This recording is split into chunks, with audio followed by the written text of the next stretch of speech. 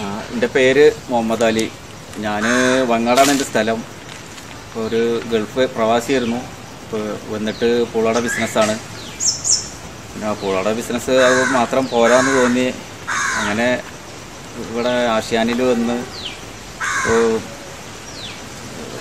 ഒരു രണ്ട് യൂണിറ്റ് മുതൽ ഞാൻ കൊണ്ടുപോയി. പത്ത് മാസം മുമ്പാണ്.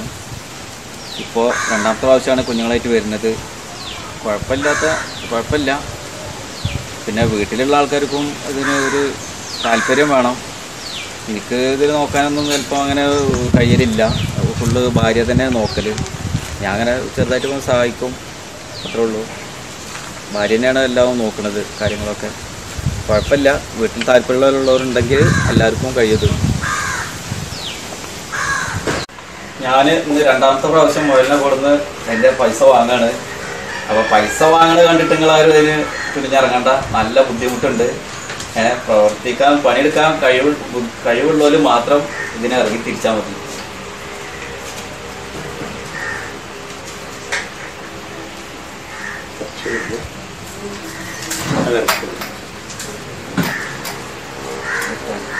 ശരി ശരി.